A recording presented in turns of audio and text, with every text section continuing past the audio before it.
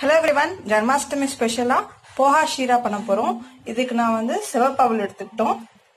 நெய் கொஞ்சம் நாட்டு சர்க்கரை. அவள் எவ்வளோ எடுத்துக்கிட்டோமோ அதுக்கு பாதி அளவு நாட்டு சர்க்கரை எடுத்திருக்கேன். அதுக்கப்புறம் பாதாம் பவுடர் பாதாம் ஒரு நாலு பாதாம் வந்து பொடி பண்ணி வச்சுருக்கேன். அப்புறம் ஒரு ஏலக்காய். இப்போ இதை எப்படி பண்ணலாம்னு பார்க்கலாம். அடுப்பில் ஒரு பேன் வச்சுட்டு ட்ரை பேன் தான் வச்சிருக்கேன். அதை நம்ம இந்த அவுளை போட்டு நல்லா ஃப்ரை பண்ணி எடுக்க போகிறோம் ஒரு three to four minutes fry பண்ணால் போதும். அதுக்கு மேலே வேண்டாம். இப்போ இது நம்ம நல்லா வணக்கிட்டு வச்சு ஆஃப் பண்ணிடலாம் அடுப்பை. ஆஃப் பண்ணிட்டு ஆறுனதும் மிக்சர் ஜாரில் போட்டு அரைச்சி வச்சுக்கலாம் இப்போ நம்ம போகாம நல்லா அரைச்சிட்டு வந்தோம் இப்போ அதே பேனை நான் அடுப்பில் வச்சுட்டு அதில் கீ ஆட் பண்ண போகிறேன் நெய் நல்லா உருகட்டும். நெய் நல்லா உருகிருச்சு. இப்போ நம்ம அரைச்சி வச்சிருந்த அவல் பவுடரை இதில் ஆட் பண்ணிக்கலாம். விடாமல் கிண்டுங்க. இப்போ நம்ம இதில் எவ்வளோ அளவுக்கு அவி எடுக்கணுமோ அதே அளவுக்கு தண்ணி எடுத்துட்டு நல்லா மிக்ஸ் பண்ண போகிறோம்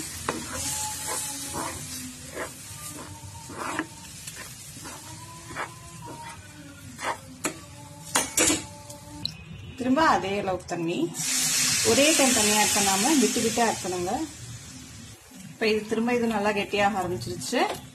இப்போ தேவைப்பட்டா நம்ம தண்ணி இப்போ ஆட் பண்ணிக்கலாம். இல்லாட்டினா வந்து கொஞ்ச நேரம் கழிச்சு ஆட் பண்ணலாம். இப்போ நம்ம எடுத்து வச்சிருந்த நாட்டு சர்க்கரையை இதில் ஆட் பண்ணி மிக்ஸ் பண்ண போகிறோம் திரும்ப அதில் அதே அளவுக்கு தண்ணி ஆட் பண்ணுறோம் இதோட தண்ணி போதும். இப்போ இதை நல்லா வந்து கேசரி கன்சிஸ்டன்சி வந்துச்சு. இப்போ நம்ம எடுத்து வச்சிருந்த பாதாம் பவுடரை மேலே அப்படியே ஆட் பண்ணிக்கலாம். அப்புறம் கொஞ்சம் நெய் அப்படியே போட்டு அப்படியே ஆஃப் பண்ணிடலாம். அந்த நெய் அப்படியே ஹீட்டுக்கு உருகிட்டும்.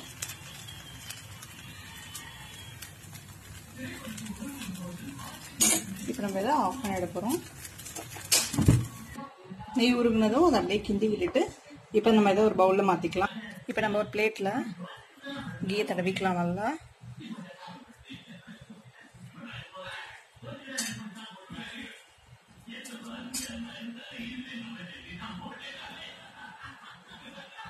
இப்போ நம்ம செஞ்சு வச்சுருந்த ஸ்வீட்டை போட்டு ஷேப் பண்ண போகிறோம் இது நம்ம ஷேப் பண்ணிட்டோம்.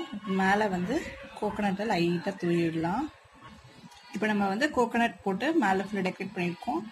இப்போ இதை வந்து ரூம் டெம்பரேச்சர் வந்ததுக்கப்புறம் ஒன் ஹவர் ஃப்ரிட்ஜில் வச்சு எடுக்க போகிறேன் இதை ஃப்ரிட்ஜில் வைக்க போகிறேன் ஒன் ஹவர் ஆகட்டும். ஃப்ரீசர்லலாம் வைக்கல. நார்மல் ரெஃப்ரிஜரேட்டரில் தான் வச்சுருக்கேன். இப்போ நம்ம போகா ஷீரை ஓரளவுக்கு ரெடி ஆயிடுச்சு. நம்ம அதை ஃப்ரிட்ஜில் வச்சதுக்கு காரணம் வந்து இது நமக்கு ஈஸியாக கட் பண்ணுறதுக்கு வரணும். பர்ஃபி மாதிரி கட் பண்ண வரணும் அப்படின்றதுக்காக தான் கட் பண்ணலாம்.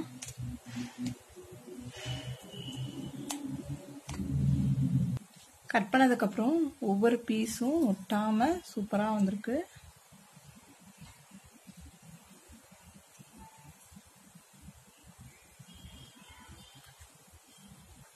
Actually this is nothing but poha halwa